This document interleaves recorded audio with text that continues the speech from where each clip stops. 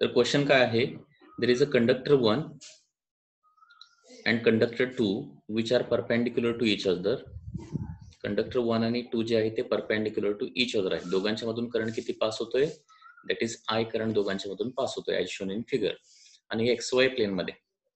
आणि वन आणि टू चा इंटरसेक्शन जिथं आहे म्हणजे या ठिकाणी. इंटरसेक्शन जिथं आहे त्या पॉइंटच्या वर इंटरसेक्शन पॉईंटच्या वर आणखी एक पॉईंट आहे P which is at distance D म्हणजे थ्री डायमेन्शनमध्ये डायग्राम काढायची झाली तर अशी येणार आहे. लक्षात घ्या. Suppose this is X axis this is Y axis and this is Z axis okay so conductor one जो आहे तो अलॉंग वाय ऍक्सिस आहे. कंडक्टर टू जो आहे तो अलॉंग एक्स ऍक्सिस आहे. ओके म्हणजे वन आणि टू जे आहे ते एक्स वाय प्लेन मध्ये आहेत. ओके एक्स वाय प्लेन मध्ये आहेत. आणि पॉइंट पी कुठं आहे? त्यांच्या इंटरसेक्शनच्या वर आहे. ओके इंटरसेक्शन म्हणजे त्यांचा जो बेंडिंग पॉइंट आहे त्याच्या वर डी डिस्टन्सला आहे. म्हणजे झेड ऍक्सिस वर पॉइंट डी आहे असं त्याचा मिनिंग झाला.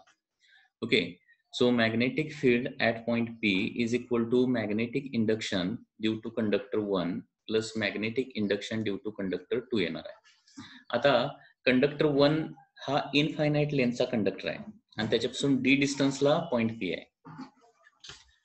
म्हणजे इथं फॉर्म्युला काय येणार बघा. कारण magnetic induction near the end असं फॉर्म्युला येणार magnetic induction near the end of infinite conductor that is mu naught I divided by four pi D आता इथं मला डायरेक्शन लिहायची ही डायरेक्शन आयकेप कशी आली हे लक्षात घ्या. तर आपल्याला बायट सॅवर्ट्सला आठवतोय का बघा? बी बारचा फॉर्म्युला काय असतो? डी बी बारचा formula mu naught by four pi I D L bar cross R bar divided by R cube म्हणजे डीबी बारची डायरेक्शन ही कशी असणार आहे? I D L bar cross R बारची डायरेक्शन असणार आहे. बरोबर? आता बी वनमध्ये बी वन ची डायरेक्शन काढायची आहे. तर बी वन ची डायरेक्शन म्हणजे I D L bar I D L बारची डायरेक्शन म्हणजे काय येणार आहे? This is I cap sorry J cap this is parallel to axis ना? दिस इज जे कॅप झालं. आणि आरबार आरबार म्हणजे इथून इथपर्यंत काढलेला व्हेक्टर दॅट इज आरबार बरोबर आहे ना? कंडक्टरच्या एंडपासून म्हणजे कंडक्टरपासून टी पॉइंट पर्यंत काढलेला जो आहे तो आरबार आहे. आणि आरबार म्हणजे काय येणार बघा? के कॅप येणार. आरबारची डायरेक्शन काय येणार आहे? के कॅप येणार. लक्षात येते का? पॉइंट ओ टू पी लक्षात घ्या. ओ टू पी काय येणार आहे? अलॉंग झेड डायरेक्शन आहे ना के कॅप मग आता लक्षात घ्या डीबी बारचे डायरेक्शन म्हणजे काय असतं? DL bar cross R bar असतं. म्हणजे जे कॅप क्रॉस के कॅप येणार. बरोबर आहे ना? हे आय डीएल बार काय झालं? जे कॅप झालं. आणि आर बार म्हणजे काय झालं? के कॅप झालं. जे बार क्रॉस के जे कॅप क्रॉस के कॅप म्हणजे काय असतं? आय कॅप असतं. म्हणून इथं आय कॅप येणार. हे आपण डायरेक्ट लिहिलं होतं बघा काल आय कॅप ठीक आहे. आता प्लस कंडक्टर टू च्या देखील एंडला पी पॉइंट आहे. त्याच्यामुळं एंडला मॅग्नेटिक इंडक्शन किती असतं? Mu naught into I divided by four pi distance आता डायरेक्शन पुन्हा एकदा बघा. इथं आय डीएल बारची डायरेक्शन कंडक्टर टू ची काय येणार? आय डीएल म्हणजे करंटची डायरेक्शन काय येणार आहे? पॅरल टू एक्स ऍक्सिस म्हणजे इथं आय कॅप येणार. आणि आर बार नेहमीप्रमाणे आर बारची डायरेक्शन काय येणार आहे? के कॅप येणार. आता I cap cross K cap म्हणजे इथं मायनस जे कॅप लक्षात घ्या. मायनस जे कॅप म्हणजे या पद्धतीने देखील तुम्ही तुम्हाला जर डायरेक्शन काढायला अवघड जात असेल आय जे केच्या स्वरूपात तर या पद्धतीनं करंटची डायरेक्शन काढायची ओके आर बारची डायरेक्शन काढायची आणि त्यांचं क्रॉस प्रोडक्ट घ्यायचं. आणि दॅट क्रॉस प्रोडक्ट म्हणजे डीबी बारची डायरेक्शन येणार आहे. So magnetic induction at point P vector फॉर्ममध्ये असं येणार आहे. Mu naught I divided by four pi D I cap minus mu naught I divided by four pi D J cap so therefore magnitude of this induction magnitude किती येणार बघा मग? That is square root of first term square plus second term square magnitude of vector कसं काढतो आपण? Square root of A X square plus A Y square plus A Z square या पद्धतीनं find out करतो. So square root of काय होणार आहे? Mu naught I divided by four pi D square plus mu naught I divided by four pi D square म्हणजे two times mu naught I divided by four pi D square त्याचा square root निघेल आणि root two फक्त square रूटमध्ये राहणार. Root two times mu naught I divided by four pi D okay so this is the resultant magnetic field at point B हा problem लक्षात आला का? कुणाला डाऊट असेल तर जरा विचारा.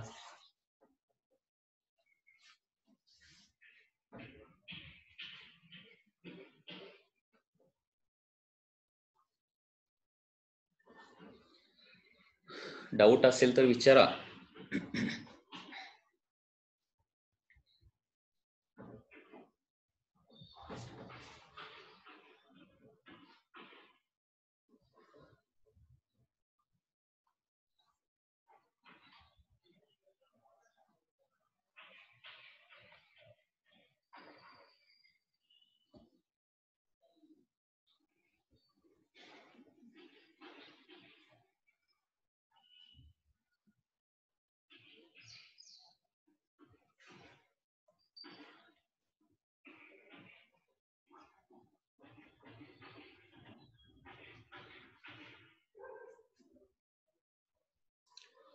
आणखी एक क्वेश्चन बघूया. थोडं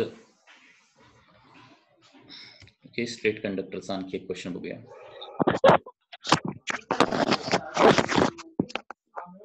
मला वाटतं अंगणवाडी मी पण तेच म्हणा लागले.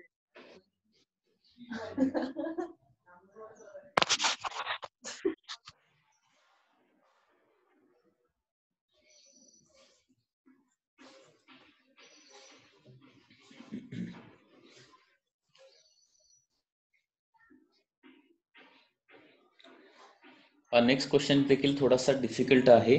जरा व्यवस्थित लक्ष द्या. There are three long wires carrying current carrying same current as shown in figure okay there are three wires wire कशा आहेत बघा? There is a triangle like this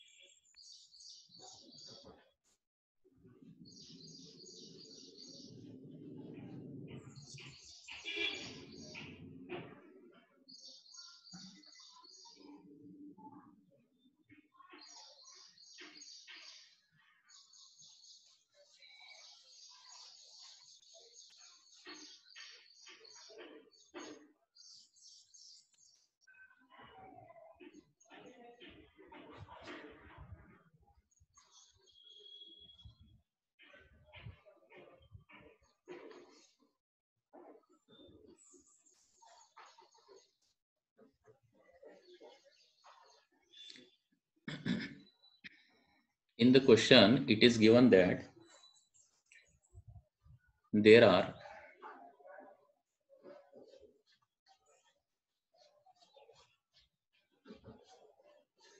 there are three conductors.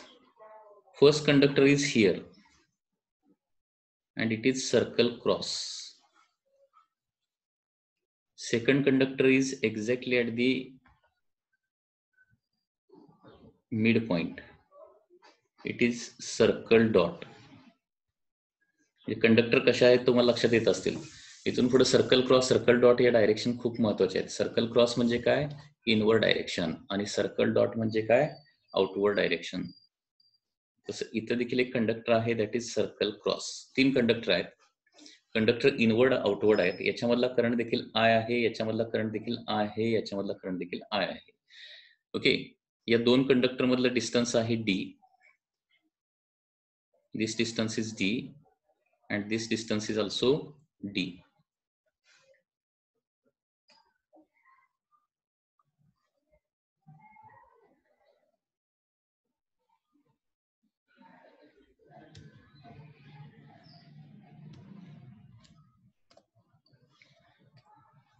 And this distance is also given as d इथून इथपर्यंत जे distance आहे हे distance देखील D दिलंय. And here there is a point that is point O तर find magnetic induction at point O O पॉइंटला असणारं मॅग्नेटिक इंडक्शन फाइंड आउट करायचं आहे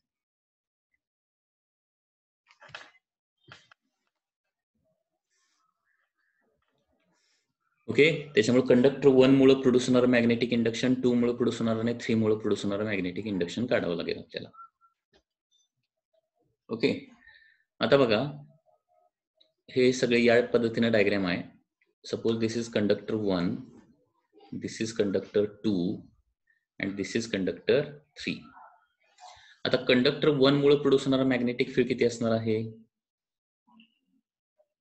बी वन सो कंडक्टर जे आहे ते इनफायनाईट लेंथचे कंडक्टर आहेत. लक्षात घ्या.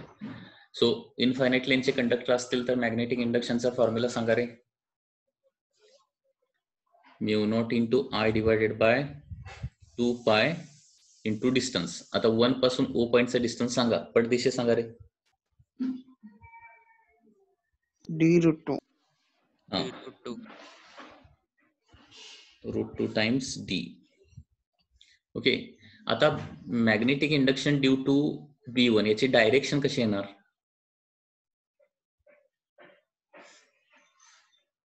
कंडक्टर वन भोवतीचं मॅग्नेटिक फील्ड असतं त्याच्याभोवती गोल असणार ना. म्हणजे स्ट्रेट कंडक्टर भोवती मॅग्नेटिक फील्ड कसं असं असतं असं सर्क्युलर असतं माहितीये ना? असं सर्क्युलर असणार आहे हे मॅग्नेटिक फील्ड या पद्धतीनं. आणि इनवर्ड डायरेक्शन म्हणजे असं क्लॉकवाईज असणार आहे. क्लॉकवाईज म्हणजे या पॉइंटला मॅग्नेटिक फील्ड जे आहे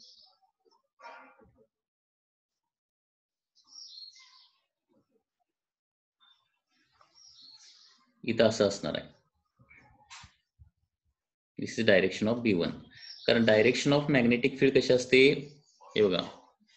बायोट लॉ नुसार dB bar is equal to म्हणजे dB bar is equal to mu naught by four pi I D L bar cross R bar divided by R cube बरोबर आहे ना? म्हणजे करंट आणि आरबार या दोघांनाही परपेंड आरबार म्हणजे काय? कंडक्टरपासून त्या पॉईंट पर्यंत काढलेला व्हेक्टर त्याला परपेंडिक्युलर त्याला परपेंडिक्युलर म्हणजे ही अशीच बी वन ची डायरेक्शन आहे.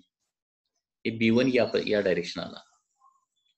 आता बी टू बी टू किती असणार सांगा रे? Mu naught into I divided by two pi two पासून किती डिस्टन्स आहे? डी डिस्टन्सच आहे. आता त्याची डायरेक्शन कशी येणार बघा. आउटवर्ड करंट म्हणजे याच्या भोवती स्टेट कंडक्टर भोवती सर्क्युलर असतं मॅग्नेटिक फील्ड माहिती आहे ना? असं अँटी क्लॉकवाईज असणार आहे. अँटी क्लॉकवाईज म्हणजे इथं या पद्धतीने येणार हे बी टू ची डायरेक्शन लक्षात येते का? बी टू ची direction perpendicular to that radius vector असतो नेहमी लक्षात ठेवा. तर हा रेडियस वेक्टर टू पासून येणार आहे हा मधला. आणि due to three magnetic induction due to three. Mu naught I divided by two pi. Three पासूनचं देखील डिस्टन्स कारण हे डी आहे हे डी आहे हे काय असणार आहे? Root two D Pythagoras theorem वापरला तर. सो इथं रूट टू टाइम्स डी येणार आहे.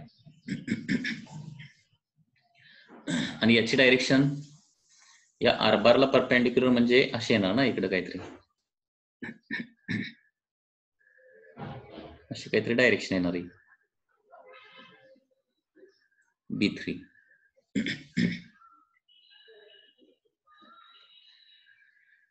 आता या तीन मॅग्नेटिक फील्डची आपल्याला व्हेक्टर ऍडिशन करावी लागणार आहे. आता बी टू जे आहे ते हॉरिझॉन्टलच आहे त्याच्यामुळे तिथे काही प्रॉब्लेम नाही. बी वन आणि बी थ्रीचे मात्र आपल्याला काय करावं लागतील?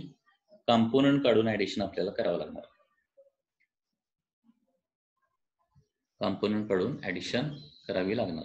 त्याच्यासाठी सगळे अँगल्स आपल्याला डिसाईड करावे लागणार आहेत. ठीक आहे?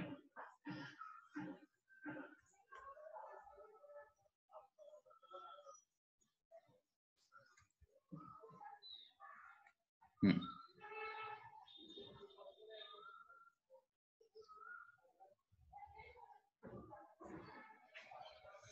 आता इथं अँगल किती असेल सांगता येईल? जो अँगल इथं असणार आहे तो अँगल इथं असणार आहे. Forty five degree. Forty five degree. आणि इथं अँगल किती असणार? फोर्टी फायच. फोर्टी फायच असणार आहे. कारण हा टोटल नाईन्टी डिग्री असा आहे ना नाईन्टी डिग्री आहे टोटल आणि इथला फोर्टी फाय आहे. त्याच्यामुळे इथं फोर्टी फाय येणार. आता याची सेपरेट डायग्राम थोडीशी काढतो मी आणि मग सॉल्व्ह करूया आपण. म्हणजे there is a point O here okay? B two या डायरेक्शन आहे. बी वन या डायरेक्शन आहे. सॉरी बी थ्री आणि बी वन जे आहे ते या डायरेक्शन आहे. Okay so this angle is forty five and this angle is also forty five degree आता हे वेक्टर फॉर्ममध्ये सगळं सॉल्व्ह करूया. Suppose this is X axis and this is suppose Y axis X axis and Y axis बघा आता resultant बी थ्रीचे दोन compound इकडे किती येणार? सांगा इकडचं component B three by root three कारण फोर्टी फाय डिग्री अँगल असला की कंपाऊंड काय होतात? By root sorry root two okay divided by root टूच येतात component so B three by root two येणार. तसेच बी चे दोन कंपाऊंड बी वनचा इकडचं कंपाऊंड येणार आहे B one by root two आणि इकडचं कंपाऊंड काय येणार आहे? B one by root two येणार. लक्षात येते का? फोर्टी फाय डिग्री अँगल असला की दोन्ही component by root two by root two असतं हे लक्षात ठेवायचं. So resultant magnetic field at O vector फॉर्ममध्ये लिहूया. बी टू काय सॉरी बी वनचं सुरुवातीला लिहूया. B one by root two कुठल्या डायरेक्शन आहे? मायनस जे कॅप आणि B one by root two हा इकडचा कंपोनंट या साईडचा minus I cap so minus B one by root two I cap minus B one by root two J cap हे झालं बी वनचं आता बी टूचं लिहूया. बी टूचं काय येणार आहे? बी टू फक्त आयकॅपच येणार. कारण towards positive in positive direction of X axis हे आहे. ठीक आहे? त्याच्यानंतर प्लस बी थ्रीचं कसं येणार आहे? B three by root two आणि डायरेक्शन येणार आहे मायनस आयकॅप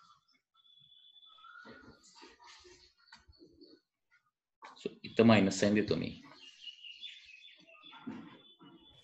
मायनस आय कॅप आणि B three by root two एक अपवर्ड आहे. Plus B three by root two J cap so this is the total magnetic induction at point O in vector form ठीक आहे?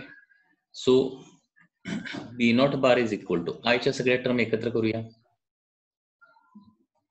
Minus B one by root two I cap sorry I cap कॉमनच काढतो B one by root two त्याच्यानंतर plus B two आणि इथे एक term आहे इथे एक टर्म आहे minus B three by root two I cap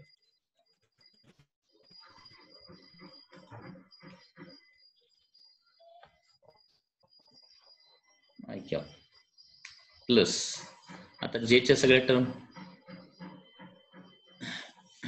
प्लसच्या अगोदर लिहितो B three by root two J cap minus B two by root two J cap ठीक आहे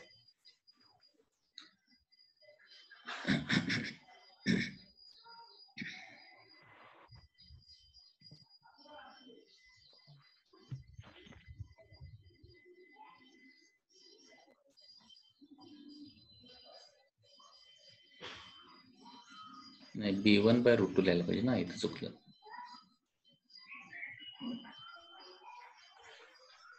B one by root two म्हणजे ही एक टर्म राहिली आणि ही एक टर्म राहिली. B one by root two J cap आता बघा B one by root two आणि B two by root two B one आणि बी टू बी टू नव्हे बी थ्री आहे ना ते B three sorry B three by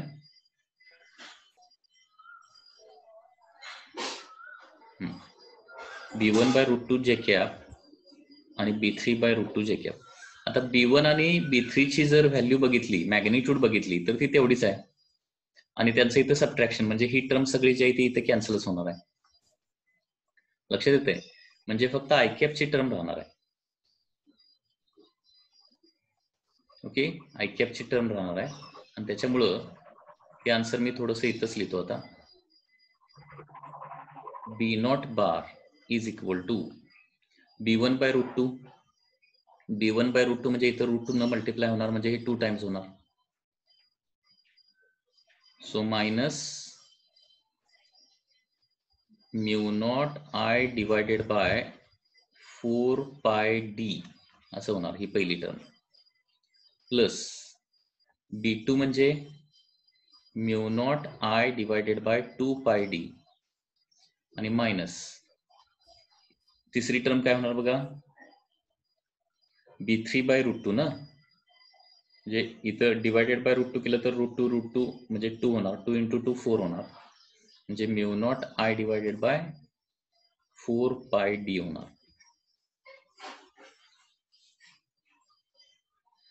okay आता minus mu naught I by four pi D minus mu naught I by four pi D याला common शेवटी I cap असणारच आहे. हे काय येणार? Mu minus mu naught I by two pi D आणि plus mu naught I by two pi D त्याच्यामुळे हे सगळं मॅग्नेटिक फील्ड जर काढलं ऍडिशन केली तर झिरो येते. सो याचा आन्सर काय येणार आहे? Zero. Okay so zero magnetic field create होणार आहे. याच्यामध्ये कुणाला काय डाऊट आहे का? फॅक्टरचा पार्ट जे याच्यामध्ये जास्त आहे लक्षात घ्या. फॅक्टरचा जो पार्ट आहे तो याच्यामध्ये खूप जास्त आहे. त्याच्यामुळे तो व्यवस्थित वेक्टर टॉपिक तुमचा व्यवस्थित प्रिपेअर पाहिजे बघा. वेक्टर त्याच्यासाठी खूप महत्त्वाचा आहे.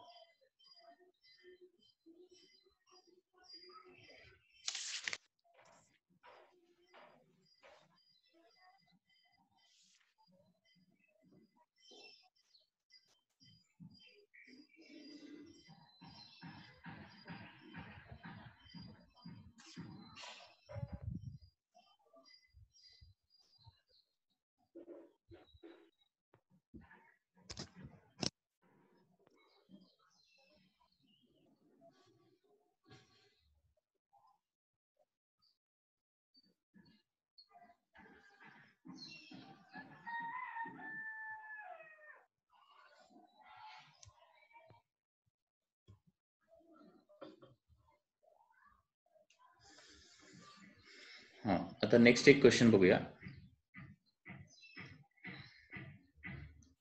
there is a square like this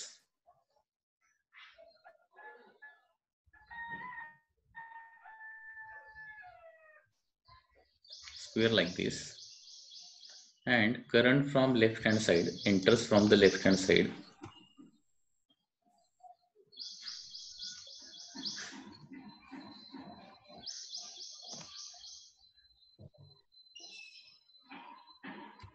And leaves from this side. Current i. I.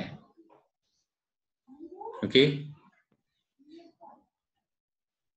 तर क्वेश्चनमध्ये काय विचारलंय? What is the magnetic field at the centre centre of the square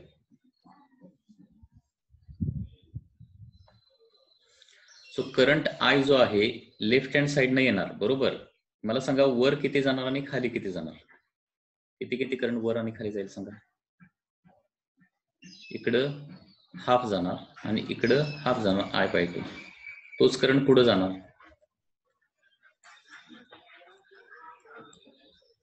आणि परत I by two plus I by two म्हणजे I okay आता इथं एकूण four parts आहेत. कंडक्टरचे एकूण किती आहेत? फोर पार्ट्स आहेत. Conductor number one conductor number two conductor number three and conductor number four तर वन मुळे प्रोड्यूस होणार मॅग्नेटिक फील्ड प्लस टू मुळे प्लस थ्री मुळे प्लस फोर मुळे काढायचं आहे ओके या पद्धतीने येणार आहे.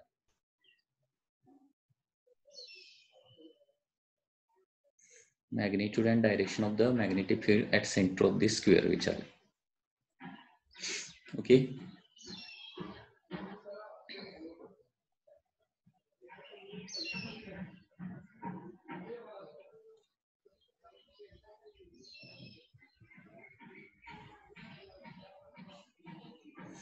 म्हणजे एका वायरपासून तयार केलेला असेल तर. याच्यामध्ये दुसरा पण क्वेश्चन आहे की वरच्या साईडचा रेजिस्टन्स डिफरंट आहे आणि खालच्या साईडचा रेजिस्टन्स डिफरंट आहे. असं देखील एक क्वेश्चन आहे.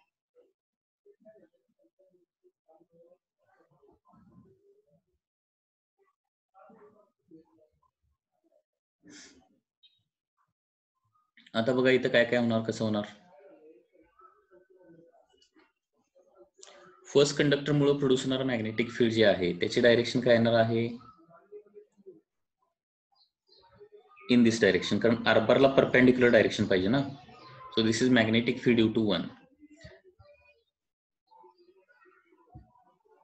sorry असं नाही येणार. याला परपेंडिक्युलर आणि वन वन भोवती सर्क्युलर म्हणजे राईट हँड थंब रूल नुसार कसं येणार आहे? राईट हँड थंब रूल नुसार वनच्या लेफ्ट वनच्या वर मॅग्नेटिक फील्ड कसं येणार? खाली मॅग्नेटिक फील्ड कसं येणार सांगा रे? खाली कसं येणार आहे? सर्कल डॉट येणार का? सर्कल क्रॉस येणार? सर्कल क्रॉस येणार. टू मुळे कसं क्रिएट होणार? सर्कल क्रॉसच येणार. बरोबर आहे ना? टू मुळे या ठिकाणी. थ्री मुळे कसं तयार होणार? सर्कल डॉट तयार होणार. आणि फोर मुळे कसं तयार होणार आहे? सर्कल डॉट लक्षात येते का?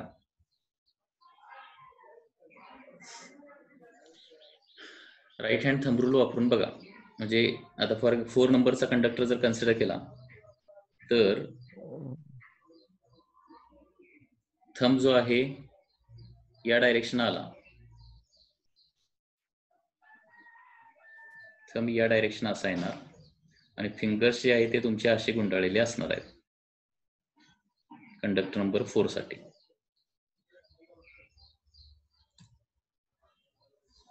Okay so thumb is in direction करंटच्या डायरेक्शन आणि फिंगर्स जे आहे ते असे गुंडाळले जाणार.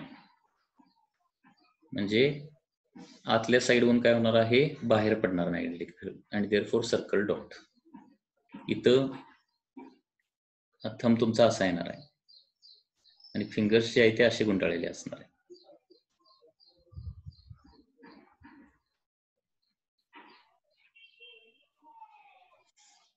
ओके? त्याच्यामुळं या पद्धतीने येणार मॅग्नेटिक फील्ड ओके? सो आतल्या साईडला सर्कल डॉट इथं तुमचं थंब या डायरेक्शन येणार. आणि फिंगर्स असे गुंडाळलेले असणार.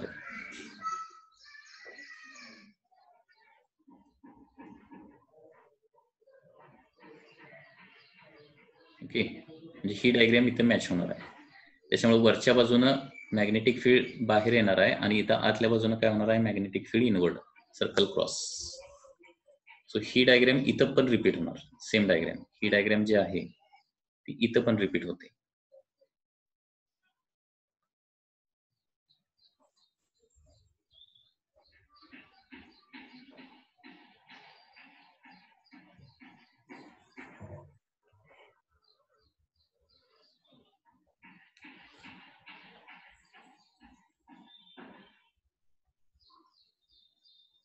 म्हणजे हे कंडक्टर या डायरेक्शन झाला तर मॅग्नेटिक फील्ड हे असं येणार आहे. लक्षात येते का?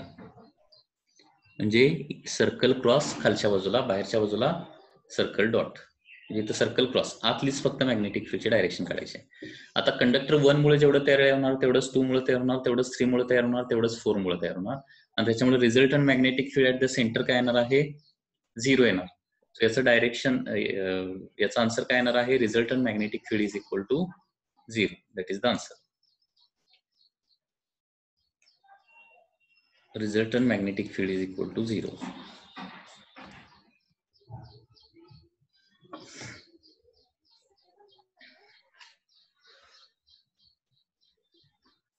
ठीक आहे आता याच्यामध्ये थोडस व्हेरिएशन आहे व्हेरिएशन काय लक्षात घ्या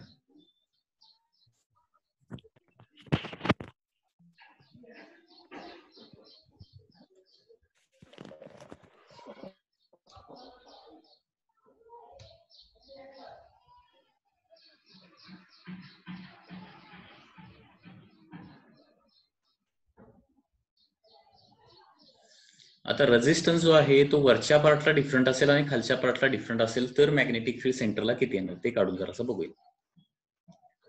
ओके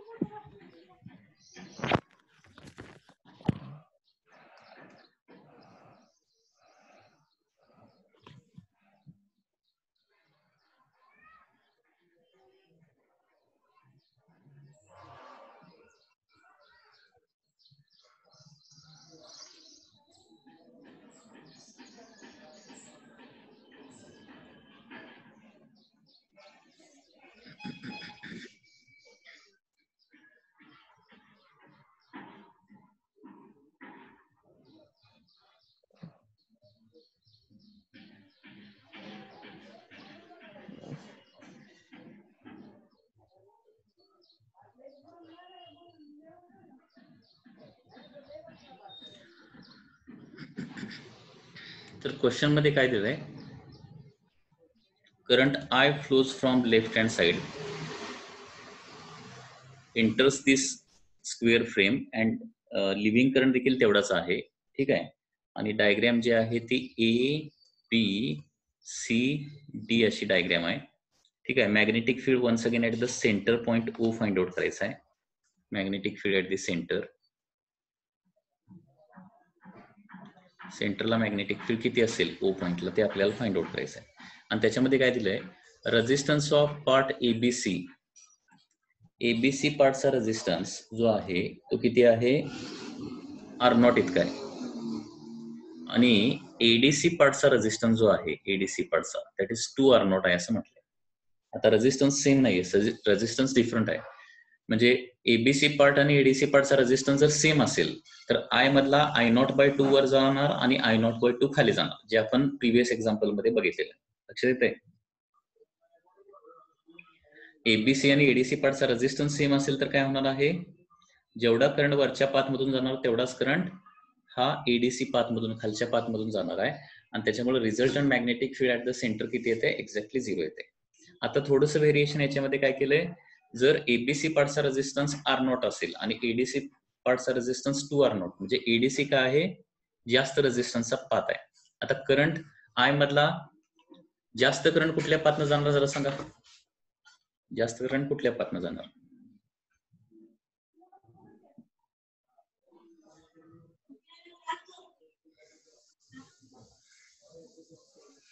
जिथं रेजिस्टन्स कमी असतो. त्या पाथनं करंट. जास्त जातो. हे लक्षात ठेवा. ठीक आहे? एक काम करा सगळ्यांनी जरा रिजॉईन करा. रिजॉईन करायचं. ओके